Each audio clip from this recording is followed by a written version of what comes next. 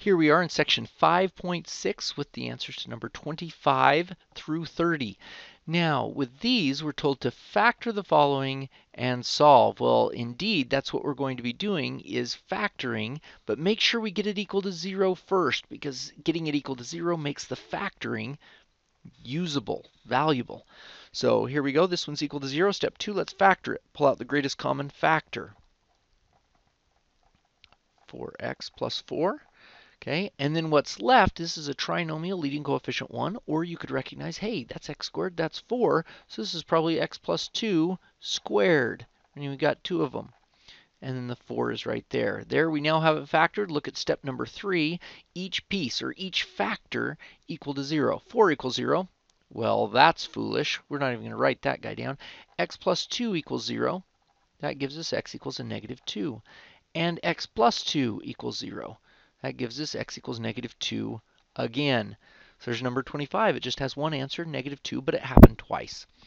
So number 26, uh, x squared equals 9. Step number 1, first of all, get that thing equal to 0. So let's subtract 9 from both sides. And now we have it equal to 0, and we can factor this. This is a difference of squares. So we get x minus 3, x plus 3.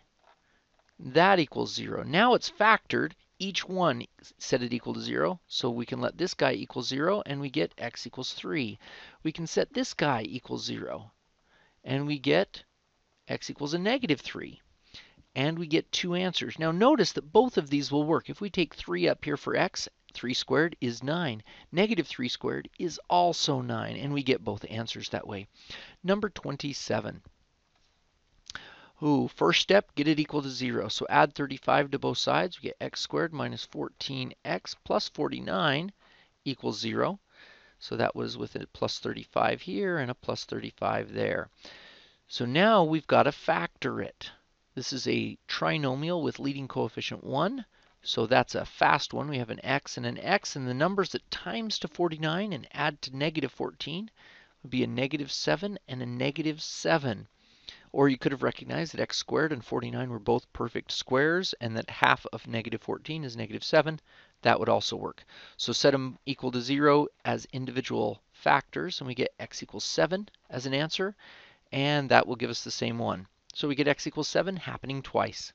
Number 28 we get y squared plus 16 equals 0. Good, we're already equal to 0. Factor this thing. This Here's a perfect square, and there's a perfect square, but if you look at that guy right there, this is a sum. So right now, this is not factorable.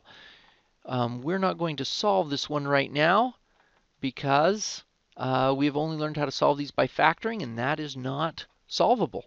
So it's not factorable here, and so right now we do not have a solution that will work. We'll do that later on in your math career. Number 29, get it equal to 0, so subtract 3x from both sides and we get 3x squared minus 3x minus 36 equals 0. Good, that 0 out there makes factoring worthwhile. Now for factoring, we pull out the greatest common factor. We see there an x squared minus an x minus 12.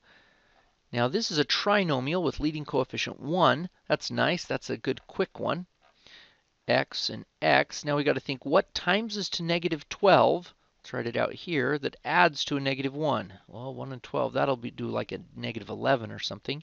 Um, 2 and 6, that would do like a negative 4. And 3 and 4. Yeah, that'll do it. That'll give us a negative 1. So we have a plus 3 and a minus 4. And that 3 right there. So now it's factored. Now each piece equals 0. 3 equals 0. That's embarrassing. Don't even write that guy down. And then x plus 3 equals 0 will give us x equals a negative 3. And x minus 4 equaling 0 will give us x equals a positive 4. So we have two answers, negative 3 and 4 right there. Good. Now we'll try number 30. We're already equal to 0, so step number 2, we're going to factor it. This is a perfect square, that's a perfect square, and that's a difference. So we can do this. This is x plus 13, x minus 13 equals 0. And so that gives us x plus 13 equals 0. Set this piece to 0 and we get x equals a negative 13. Set this piece to 0 and it gives us x equals a positive 13. And there we have that one. Good.